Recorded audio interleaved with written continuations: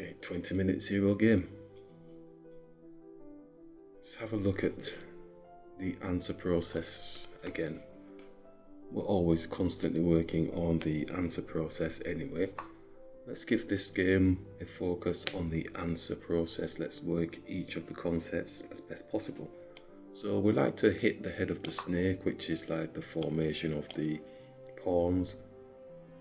Usually that does fall, and that gives maybe a slight advantage to help to whoever breaks, but then you have to position your pieces appropriately. So we're going to capture the pawn, as we've just said. It's trying to establish a bit of a break in this um, process.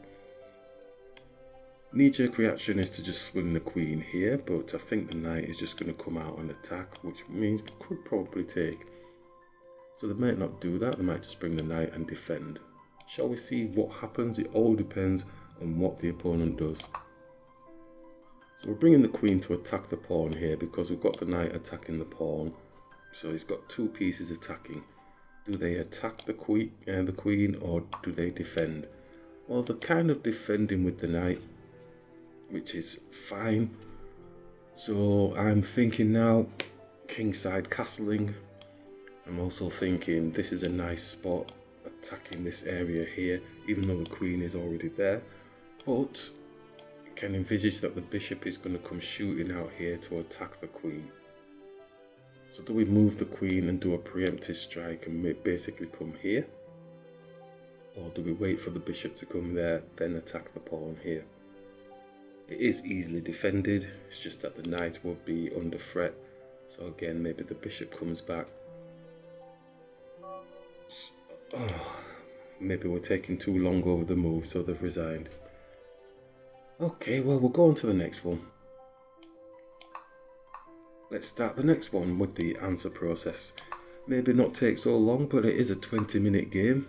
Uh, it's not a blitz match, it's a rapid game. So it's defended, and he's attacking our knight. I'm just going to develop our bishop to go and get castled. So they're moving real quick, you know. Um, people accept these um, longer games, rapid games, but they play them like they're bullet matches or blitz matches. And when you take your time, obviously, as that happened in that previous game, they're just not interested. So I'm going to capture the pawn here because the smaller piece is on a higher piece. Their knight is probably going to take. Our knight can't take back just yet because they have a pin through with their bishop onto our king. So that's all pretty straightforward. I'm actually taking with the pawn. Oh, ho, ho. and that's the price you pay for playing fast. exactly. Just wanting to get the games over and done with, and they've resigned. Alright, so I don't know if this is a good example of the answer process. We've had the one where they don't want to think too long and they've resigned the game. And in this game here, they're playing way too fast. Probably did a preemptive strike and they've just lost a minor piece. We'll go on to the next one anyway. Okay, next one. Again, looking to try and practice the answer process as best possible. So hopefully um, the opponent's going to stay on and play the longer game. Or also that they're not going to play too fast and then beat themselves. going to bring the bishop here and attack the knight can still envisage this taking here. Just wanting to get the queen activated to get this knight. Okay, let's just take with the queen. So that takes it out of the window. Uh, so the knight is attacking our queen. We can move here, keeping a little bit of pressure on the knight, x-raying through to their king. I think that's probably what I'm going to do. Is there anything different? There's no check on so I can get the bishop. Nope. Nothing here. Coming back around. I think we'll just go here and x-ray through to the king. Expect that to take or open here, whichever.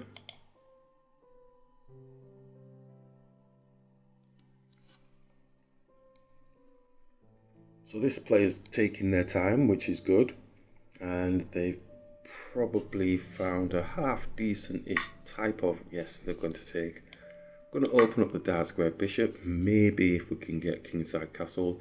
Not going to get too bent out of shape if we can't. We've got two active pieces out here at the minute. Okay, so he's looking probably to trade off our white square bishop.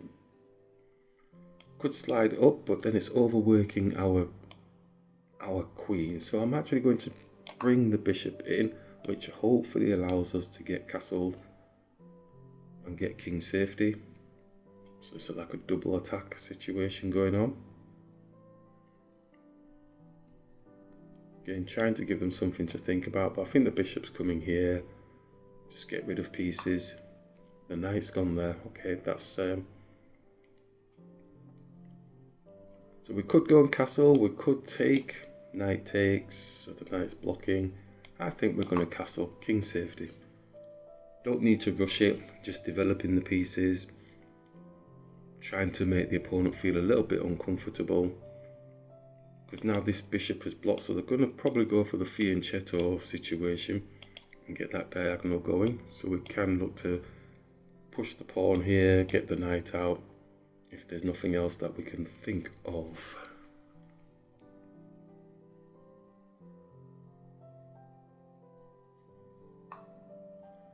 So no, he's not going for that just yet. Wants us to get rid of the bishop. Do I really want to?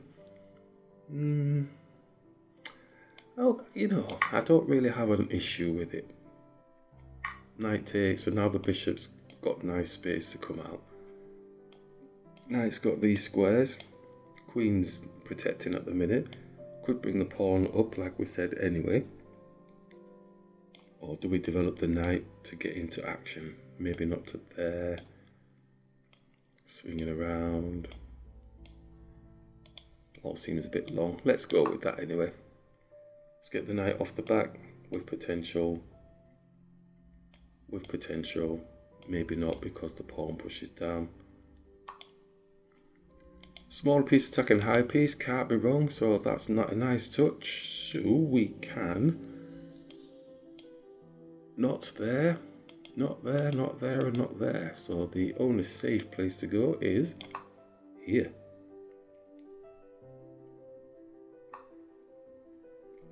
So a single attack, rather than going for protecting his king, you know, giving his king some space and safety, um, there must be something that we can do about this type of attack. So I'm actually going to hit the knight, so it gives them something to think about just bearing in mind their king is not safe really but they might be one of those players that just is happy having their king sat in the middle because we can't do anything unless there's something that we can do. So we're now attacking the pawn here. If he goes and castles then we can take the knight off the board. So the knight's going to be looking maybe to move out of the way probably more to here because it's on our king side I don't think there's any other funky attacks that it's got going. So I think jumping here puts it in a better state for them, maybe. So they're a long player thinker, they're taking the time, they're looking to try and get those better positions. Tempo wise, as I said, king safety looks to be a bit of a plus for us. Yes, so they've gone to that square. So a smaller piece attacking a higher piece just to harass the knight um, should work out for us. It could come here looking to attack the pawn, which is probably what they might do. Gives us a chance to jump here. Then the rook can obviously attack. So I don't really want to do an attack whereby it's going to mess up our king area. Okay, so the bishop doesn't have anything on it either. So we could attack the bishop and then save we're always going to be coming here anyway with the knight. I think they'll just come back and attack our bishop. Yeah, I think that's what they're going to do. Let's attack the bishop. Knights hunt the bishops in our mantra. So it's just going to come back and attack. Do we take? I think I don't really see a problem with taking. Could always just, uh, but then the knight is there. So I think we'll just take and then maybe attack the knight. So that's coming, we take, maybe the knight takes it rather than the queen. But the queen wants to come off the back, doesn't it, really, so that they can link up the rooks. Oh, okay. I'm not saying that's a bad thing, but we can take, then the queen takes, and then we can, oh, the knight's still there. The knight is still there. Right. So if we take, queen takes, hit the knight,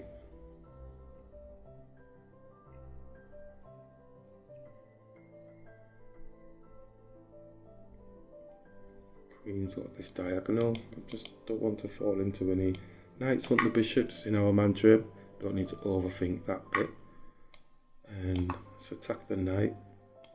If he's coming here, bishop can take. or if he's just going to attack our bishop.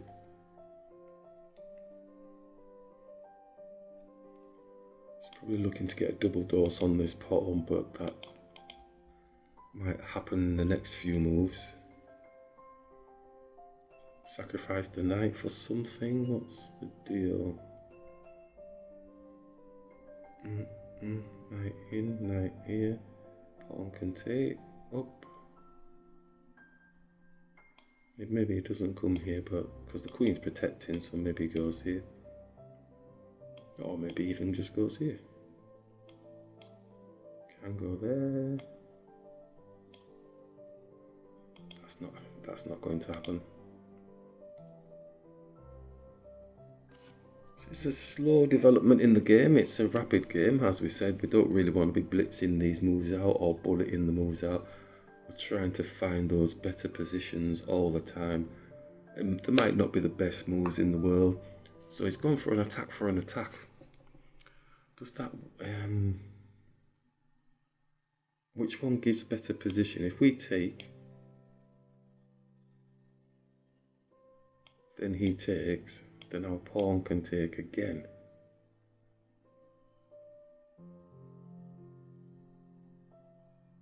It's not going to last there for very long, but maybe a rook coming supporting. Our king's going to be airy, but this pawn is in the way. So I'm going to take, because it looks like we get material up for a bit of a moment. Maybe it's not because the king's coming down. And my vision was that the rook was coming here, but I'd forgotten that this pawn was going to be blocking the way. Hmm. So we could come here with the rook, put a 2 on 1, but the king's going to take, so we'll have two supporting. If we came here with the rook, his rook king takes.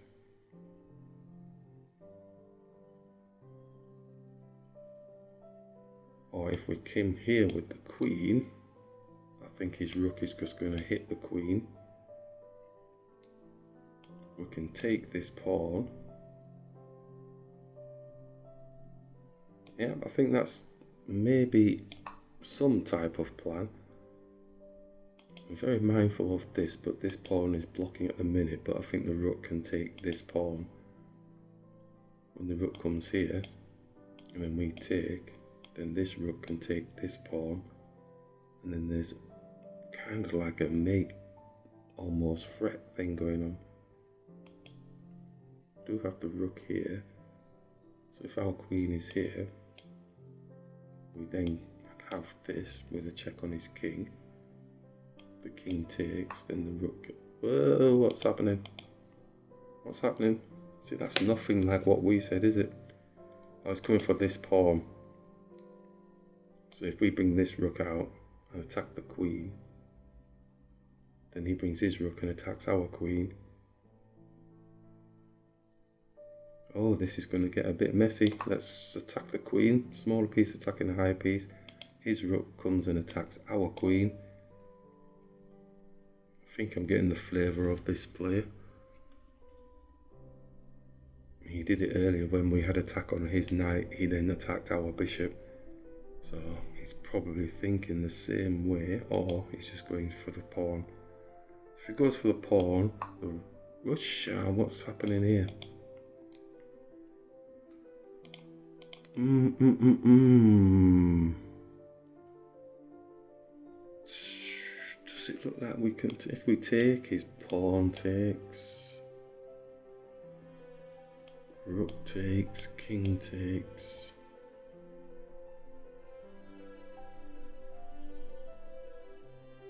Hmm.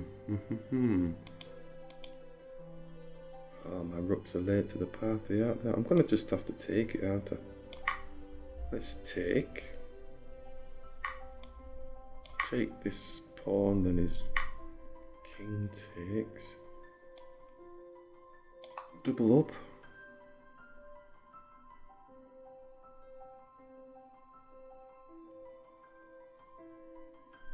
Plus one, but it's doubled.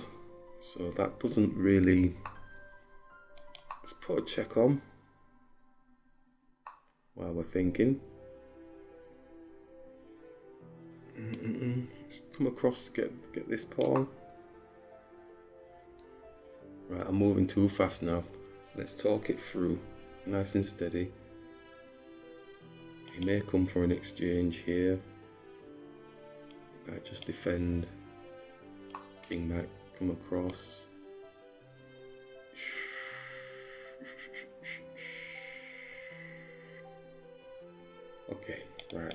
So yeah, my knee-jerk reaction is to not there, sorry, to come here.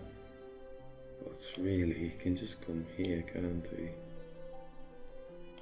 We take, he takes his owning files.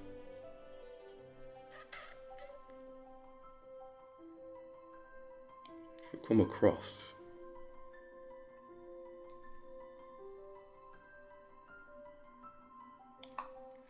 come across because it feels probably better if we can go this way. This king is on our rook there. So there's going to be attacks on pieces. Oh, there isn't. Again, knee-jerk reaction. Go here, put a check on. He can't come down, so he'll probably come into attack.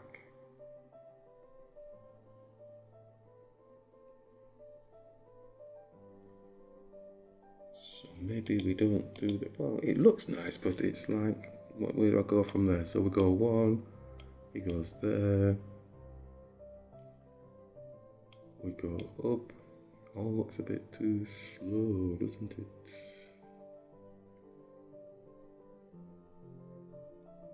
Or maybe we come down and just attack this pawn. Or why don't we just go straight for attacking the pawn anyway?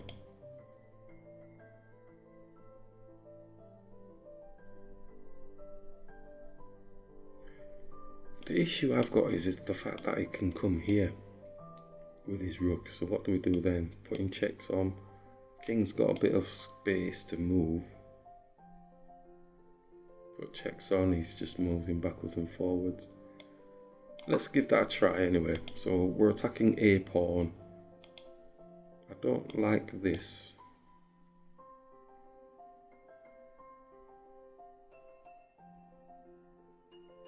for some reason.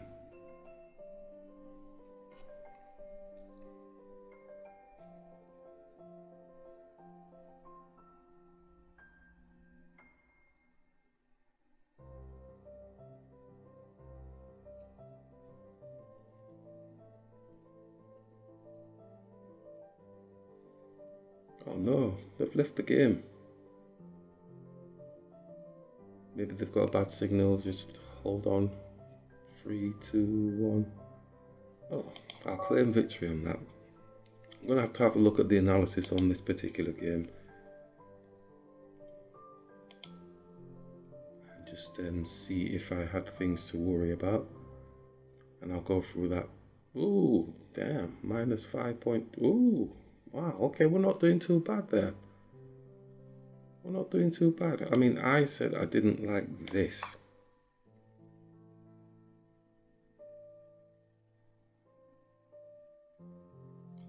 Said I was going to go and put a check on, but then if we talked it through, I probably would have just taken this pawn off the board.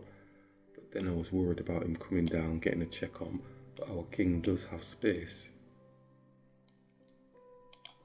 So I was definitely not thinking of that move there. So I said I was going to put a check on, but then realizing, I think if we were taking a longer time, I would have realized that he, he was protecting this pawn. So we'll probably go and grab this pawn. Still put a check on. If he comes to protect, then we can take. I um, don't like playing against the computer, so um, we did say that at some point this pawn is going to be attacked, but in my head I'm thinking a simple maneuver here would work. So we're an in an advantageous position, minus 5.2, nothing to worry about there. Interesting.